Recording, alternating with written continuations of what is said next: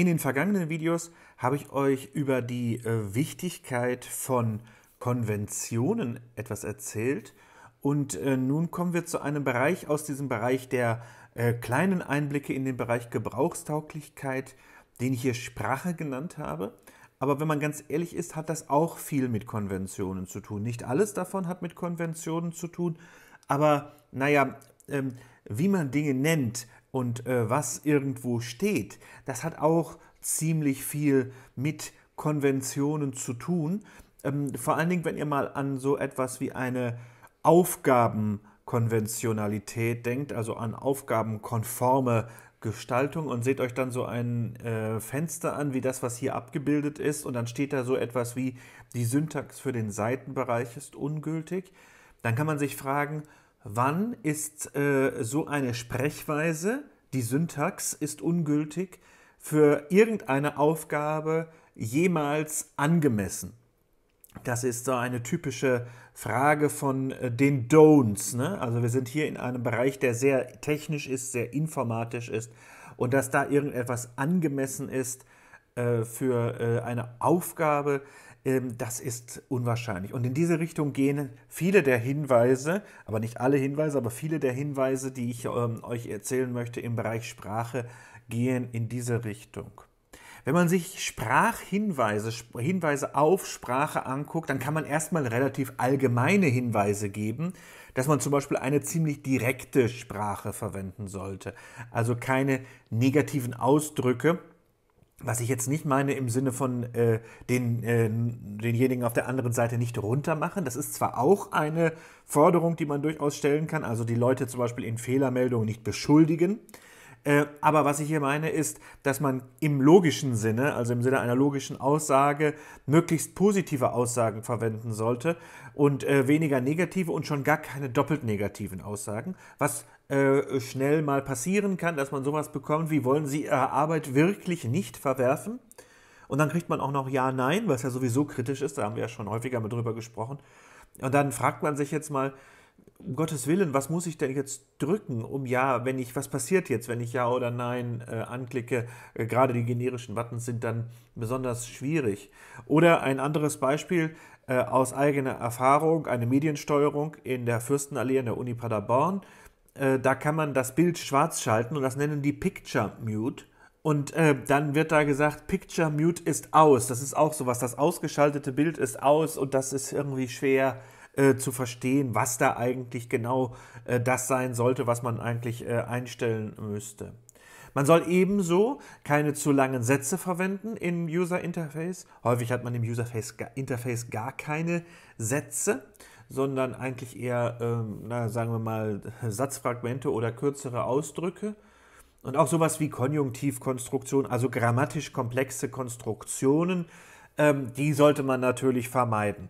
Okay, das sind fast Hinweise, jetzt mal von äh, der Hinweis, vielleicht gar keine Sätze zu verwenden, abgesehen, die man auch für Anleitungen nehmen kann, vielleicht sogar für allgemeine Sätze, vielleicht wären es sogar gute Hinweise für Vorlesungen oder Videos, äh, wie das Video, was ihr euch hier gerade anhört.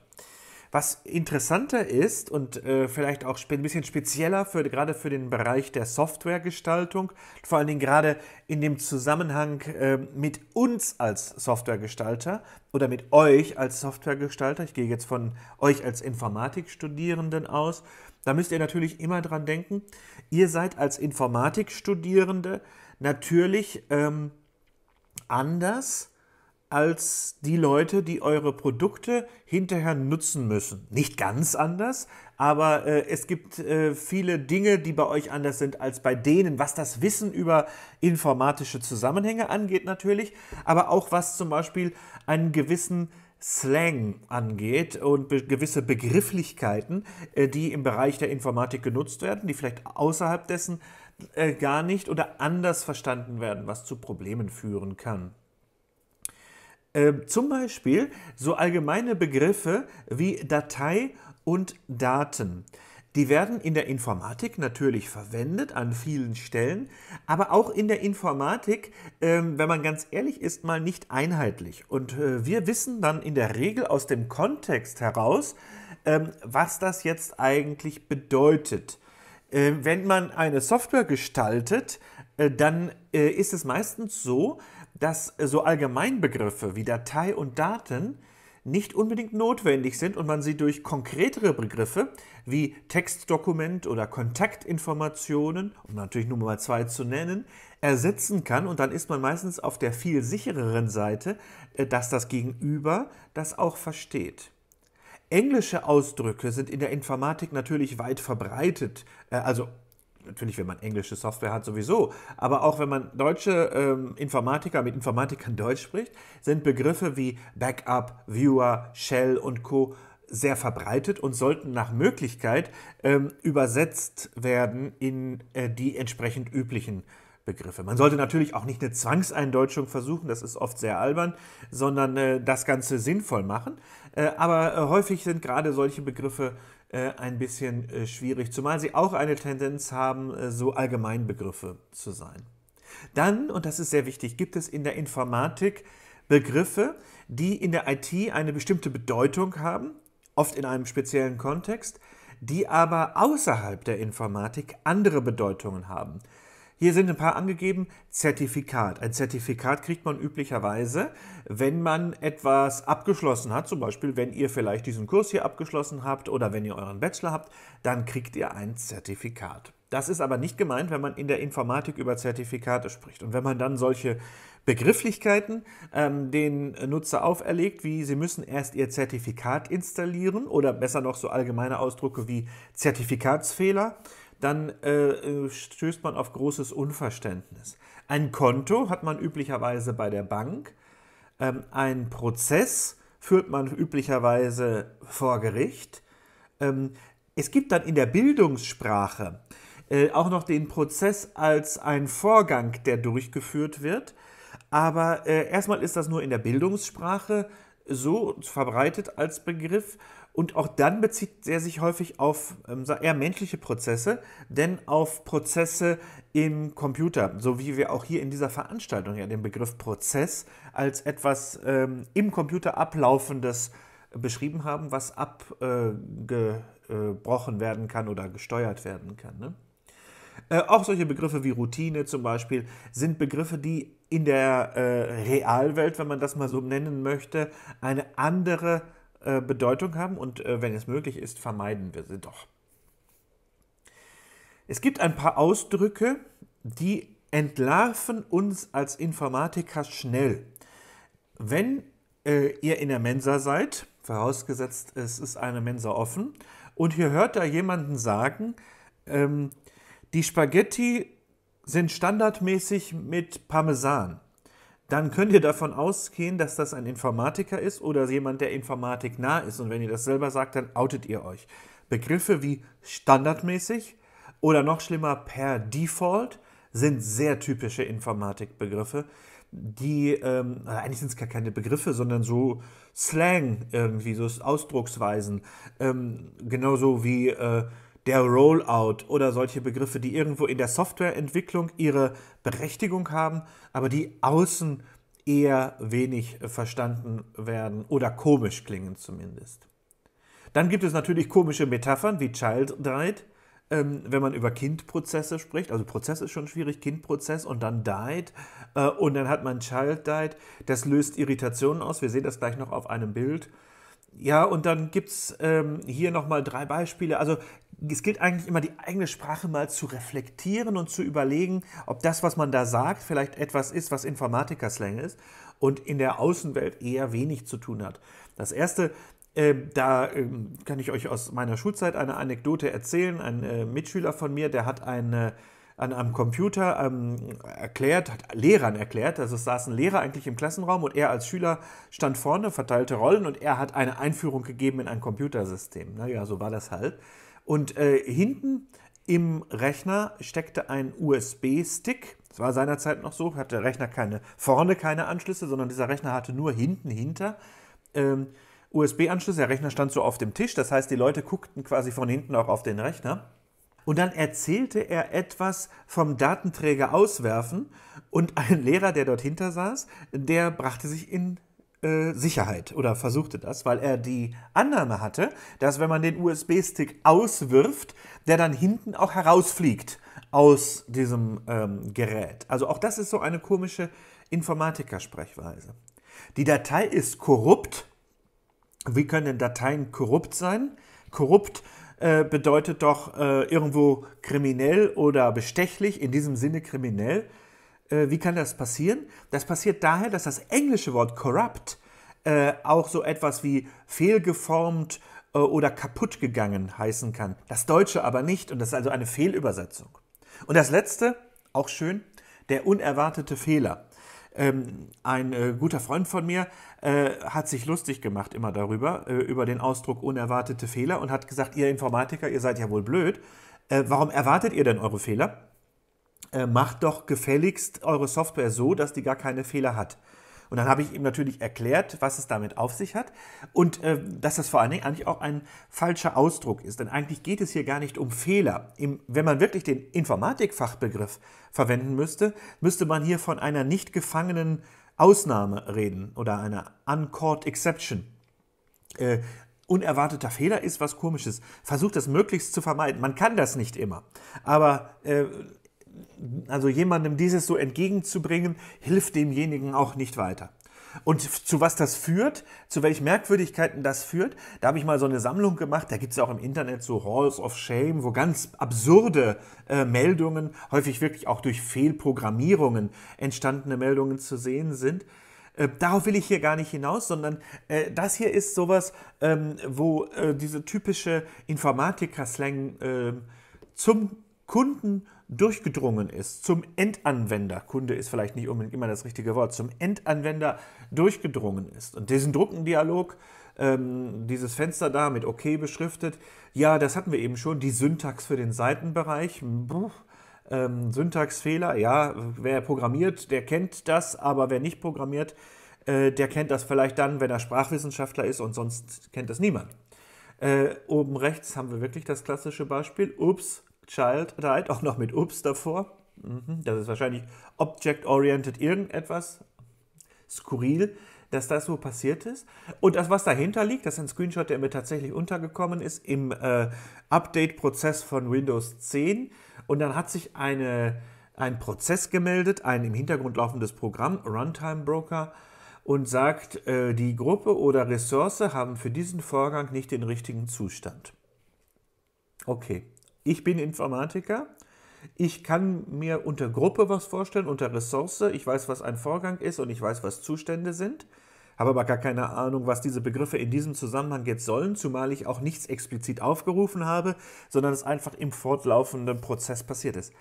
Aber ähm, selbst ich, der irgendwie mit den Begriffen was anfangen kann, wo ich annehme, dass das bei euch ähnlich ist, wenn man jetzt jemanden da nimmt, der das nicht kennt, der diese Begriffe nicht kennt, dem sagt das noch weniger und für den ist es noch verwirrender und es ist irgendwie ein Kauderwelsch, was hier einem angeboten wird. Kommen wir zu einem ganz anderen Punkt, äh, nämlich zum Übersetzen von Software. Äh, ich habe euch ja beim letzten Mal über die Notwendigkeit erzählt, äh, beim Übersetzen vorsichtig zu sein, nämlich auf, die Ziel, äh, auf das Zielland zu achten und auch darauf zu achten, dass man im Zweifelsfall auch Bilder übersetzen muss, also andere Bilder ähm, äh, verwenden muss.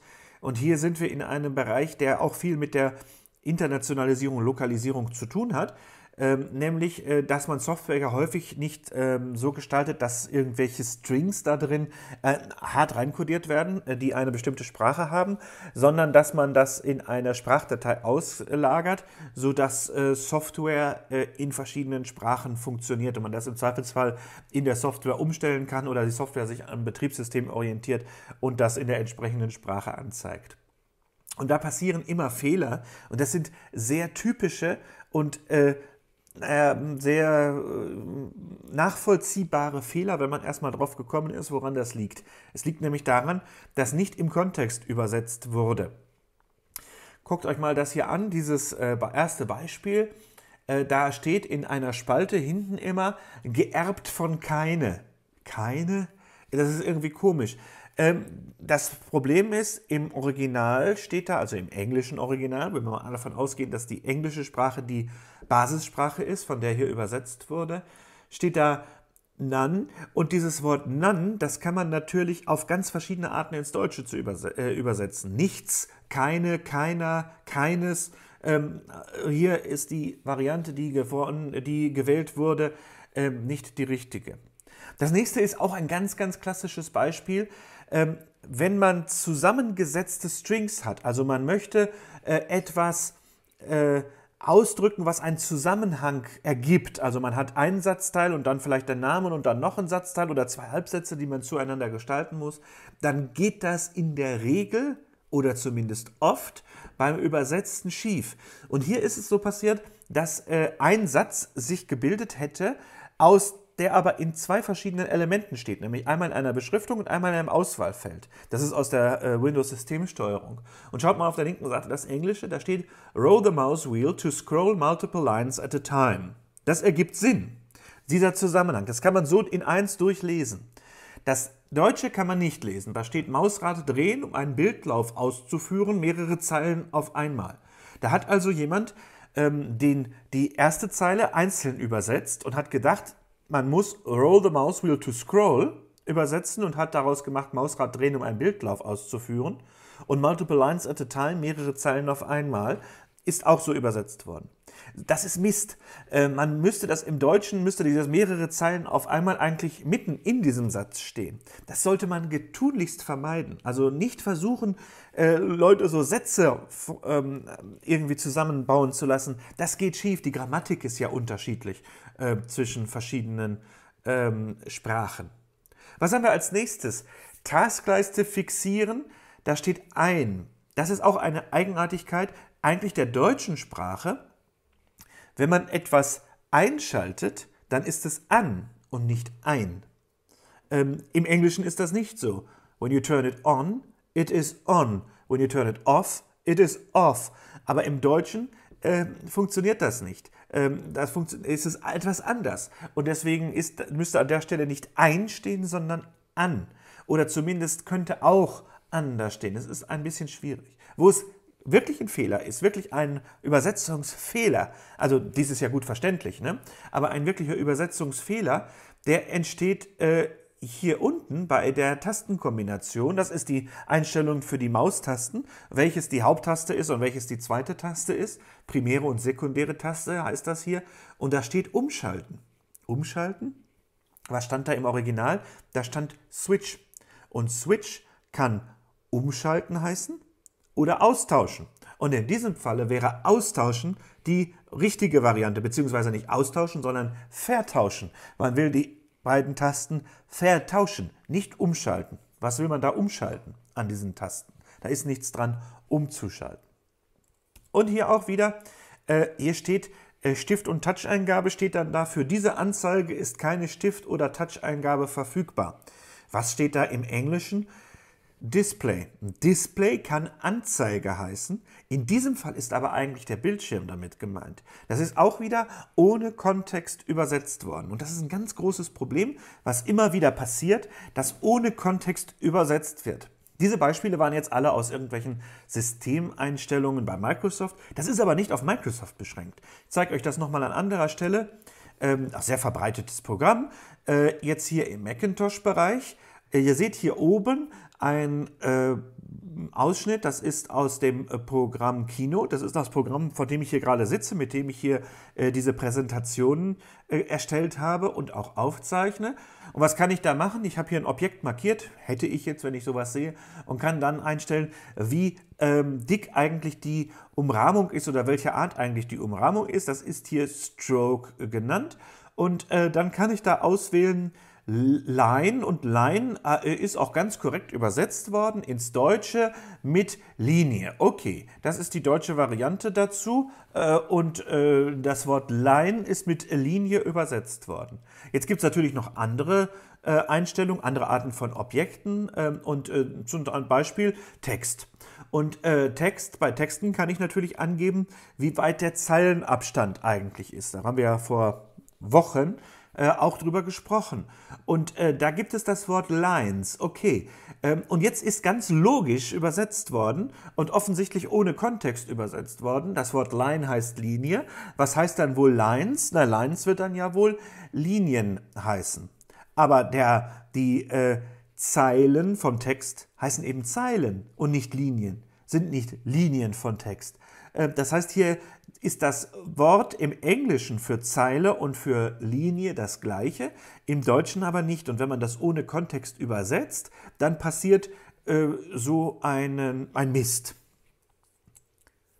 Ähm, anderer Stelle äh, ist es auch passiert und zwar, ähm, das ist auch ein ganz typisches Problem, gerade zwischen dem Englischen und dem Deutschen, äh, aber wahrscheinlich auch zwischen mehreren Sprachen.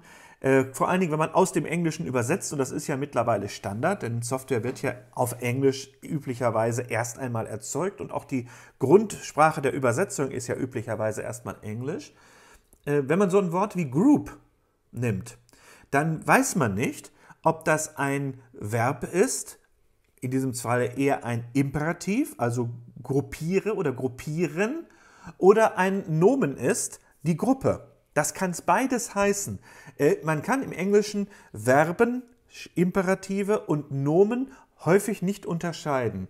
Im Deutschen aber schon. Und äh, wenn dann jetzt das Wort Group einmal schon übersetzt wurde, dann äh, kommt es zu Fehlern. Das ist jetzt hier aus der gleichen äh, Software. Was mache ich? Ich habe mehrere Objekte, mache rechte Maustaste und sage dann gruppieren. Ich gruppiere diese zwei Objekte zu einem Objekt. Sehr sinnvolle ähm, Funktion, über die wir ja auch schon gesprochen haben. Und was entsteht dann für äh, diese äh, Software hier? Es entsteht eine Gruppieren. Äh, dieses gemeinsame Objekt ist dann ein Gruppieren, müsste Gruppe heißen, aber es wird Gruppieren genannt und so erscheint es dann zum Beispiel hier bei der Reihenfolge der Animationen. Das Kuriose an dieser Stelle ist, genau den gleichen Übersetzungsfehler gibt es bei PowerPoint auch. Exakt den gleichen komisch, wie das äh, zustande kommt. Ich habe mich dann gefragt, ob das irgendwie Absicht ist, dass sie absichtlich den gleichen Fehler gemacht haben. Kann ich mir aber irgendwie nicht vorstellen. Da gibt ja auch eigentlich gar keinen Sinn. Hier ist übrigens etwas äh, Schönes noch passiert. Das hier ist das Fenster, das kommt, äh, wenn man mit Windows 10 eine Internetverbindung herstellen will. Und zwar nicht über eine Route, sondern direkt von dem einen Computer aus. Macht man heute nicht mehr so oft, aber die Funktionalität ähm, existiert natürlich noch. Und dann kommt hier ähm, Connect to the Internet, kann man alles Mögliche eingeben. Und unten ist so ein Hilfetext verlinkt. Ähm, also es würde sich dann Teil der Windows-Hilfe öffnen. Und da steht, I don't have an ISP. Und für die deutsche Variante ist das Ganze viel prekärer. Denn da hat man das übersetzt mit, es gibt keinen Internetdienstanbieter. Es gibt zwar Gegenden in Deutschland, in denen das so ist, aber äh, das ist, kann ja nicht gemeint sein. Hier ist schlecht übersetzt worden, aber vor allen Dingen auch ohne Kontext äh, übersetzt worden. Nochmal ein Beispiel dafür, dass man im Englischen vor allen Dingen äh, Formen von Wörtern oft nicht unterscheiden kann. Eben habe ich erzählt Nomen und Verben. Und hier ist es der Imperativ und der Infinitiv, ähm, und den man nicht unterscheiden kann, was häufig zu komischen Fehlern führt. Ich weiß nicht, ob euch die schon mal begegnet sind. Mir begegnen die dann und wann mal wieder. Ähm, und ich habe es hier aus dem äh, Update von, von Microsoft. Ich zeige euch aber gleich auch noch ein anderes Beispiel, wo das so passiert. Äh, da steht äh, im Englischen, schaut mal, äh, ähm, unter dem äh, zweiten äh, Querstrich steht hier Join the Office Insider Program to get early access to new releases. Dieses Join, wenn ich da das anklicke, dann ist das von meiner Seite aus gesehen ein Befehl an den Computer. Wie ist es aber übersetzt worden? Guckt mal, nehmen Sie am Office Insider Programm teil, um Frühzugriff auf neue Versionen zu erhalten. Das ist genau andersherum geguckt. Das ist so, als würde einfach in einem Text ein Hinweis stehen und da steht äh, Join bla bla bla bla. Äh, das ist, äh, habe ich an anderen Stellen schon gehabt, habe ich jetzt leider keinen Screenshot ähm, dafür. Da ging es um das Wort Close also schließen. Ne? Äh, und äh, wenn natürlich in einem Hinweistext äh, zum Beispiel drin steht, close, the, close the program and try again, dann würde das übersetzt werden müssen mit über, schließen Sie das Programm und versuchen Sie es noch einmal. Wenn aber auf einem Button draufsteht, Close the Program, dann äh, ist das ja ein Befehl von mir an die Software und dann muss da Programm schließen stehen. Und dann gibt es dann teilweise solche Fenster, auf denen dann auf dem Button draufsteht, schließen Sie das Programm. Und ich wundere mich dann immer, ich denke, mein Gott, so weit ist es schon gekommen, jetzt sieze ich meinen Computer schon. Wir gehen aber sehr, sehr förmlich miteinander um. Dieses Beispiel hier übrigens, das ist ein ganz komisches. Äh, und ich kann mir das nur folgendermaßen erklären. Äh, also das ist aus ähm, Google Sites, und zwar der alten Version von Google Sites, also der Website-Software äh, von Google, wo man relativ einfache Websites mit erzeugen kann. Und ähm, wieso steht hier auf diesem Button, wo man eigentlich ein Bild austauschen möchte, ersetzen Sie folgenden Codeabschnitt? Wie kann das passiert sein? Man, kann, ich kann es mir nur so erklären, dass, ähm, dass ähm, irgendwo in diesem ganzen Gebilde von Software ähm, es eine Situation gab, wo stand Replace, dann kam ein Stück Code und dann kam With und dann kam wieder ein Stück Code. Und dann wurden wieder mal einzeln Dinge übersetzt und das Wort Replace wurde dann übersetzt mit ersetzen Sie folgenden Codeabschnitt und wahrscheinlich an anderer Stelle dann das with mit mit folgendem Codeabschnitt. Und jetzt ist das Wort replace in der Übersetzungsdatei drin als ersetzen Sie folgenden Codeabschnitt. Und schon haben wir hier diesen absurden Button, äh, wo dann da steht, ersetzen Sie folgenden Codeabschnitt. Völlig aus dem Kontext und auch noch äh, Imperativ und Infinitiv vertauscht. Also ersetzen Sie, sondern ersetzen. Ich gebe einen Befehl an den Computer. Dieses Übersetzen außerhalb des Kontexts führt öfter mal dazu, dass es Software gibt, wo Dinge drinstehen, die man nur dann versteht, wenn man auch weiß, was da auf Englisch steht. Da wäre es dann glatt manchmal einfacher, man würde die Software gleich auf Englisch benutzen. Hier habe ich ein Beispiel aus einer Bildbearbeitungssoftware und ähm, da ist das der äh, äh, Mechanismus, mit dem man die ähm, Toolbar einstellen kann, mit dem man da einstellen kann, was da eigentlich drin sein soll. Werkzeugleiste einstellen. Steht auch Werkzeugeinstellung, das ist alles soweit okay. So, und dann haben wir hier eine Auswahl, einfach Auswahl, Gemälde, retuschierend, Zeichnung, retuschierend, komisch. Äh, naja, Retouching steht da im Englischen und das kann retuschieren heißen äh, oder auch retuschierend. Man hat sich hier für das Falsche entschieden. Das ist aber noch nicht das Schlimmste, weil pff, wahrscheinlich hätte man darüber hinweggelesen und hätte das gar nicht gemein, äh, gemerkt. Äh, das äh, Schlimmere ist eigentlich in, bei diesen Icons, die hier zu sehen sind, in der unteren Zeile. Ähm, erstmal das mittlere, beschneiden. Ich weiß nicht, ich hätte das früher eher zuschneiden genannt, nicht beschneiden. Okay, auch noch nicht so schlimm. Aber daneben steht Scheibe. Scheibe? Und dann ein Messer. Im Englischen steht an dieser Stelle slice und das Verb to slice heißt zerteilen. Das Nomen slice heißt unter anderem Scheibe, a slice of bread, eine Scheibe Brot. Also hier ist es richtig, richtig schief gelaufen.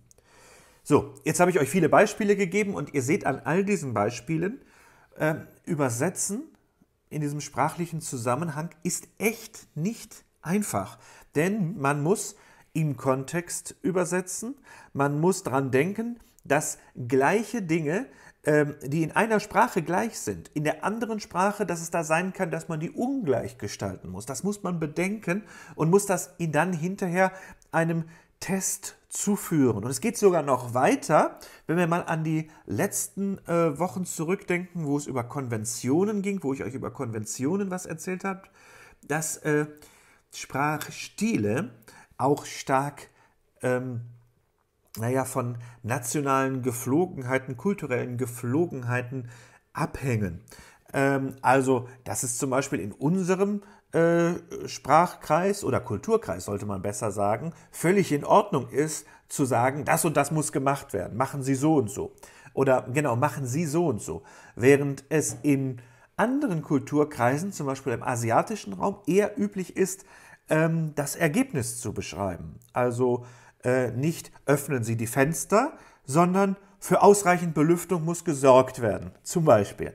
Ähm, und ähm, da, diese Unterschiede sind natürlich nochmal schwieriger zu fassen als diese eigentlich einfachen Übersetzungsaufgaben, über die ich äh, heute mit euch in diesem Video hier gesprochen habe. Und um diesen Dingen nahe zu kommen, da kommt man eigentlich nicht darum, das zu testen. Es kann dann schnell passieren, dass eine Software zwar korrekt ist und auch korrekt übersetzt wurde und auch korrekt funktioniert, aber als unhöflich empfunden wird und ungebührlich äh, die Sprache eigentlich verwendet wird. Und da kommt man nicht umhin, als das in der Zielsprache, in der Zielkultur äh, zu testen. Und Testen ist sowieso eigentlich das A und O, denn äh, man kann sich vieles überlegen, ähm, aber ob es dann tatsächlich eigentlich ähm, auch alles so ankommt und ob die Leute das auch tatsächlich so verstehen, wie man sich das überlegt hat, das ist eine ganz andere Frage. Das heißt, gerade in diesem Bereich der Gebrauchstauglichkeit ist das Testen A und O. Und ums Testen soll es deswegen im kommenden Video gehen.